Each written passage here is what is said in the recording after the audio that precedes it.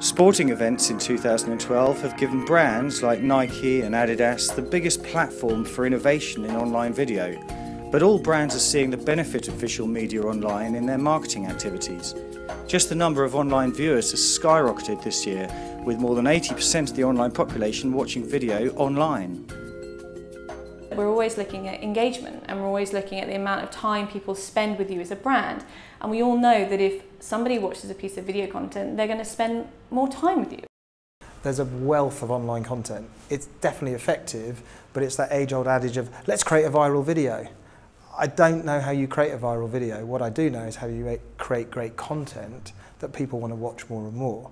You know, there's no excuse for not integrating it into um, experiential activity, obviously social media, you know, small brands might do a gig at a 100 capacity venue, suddenly that can go out to 100,000 people globally. It's amazing. Everyone wants that.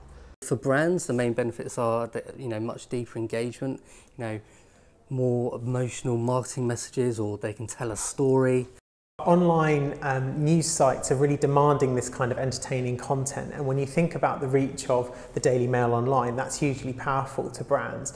Where video is very good, it's, it's a very inclusive medium and a, and a very shareable um, medium which works very well for consumer brands. I think what's really interesting is there are lots and lots of stunts that people do that don't get traditional media pickup. But in having a video, there's a call to action in giving a URL. And I think that's where the reach is massively improved.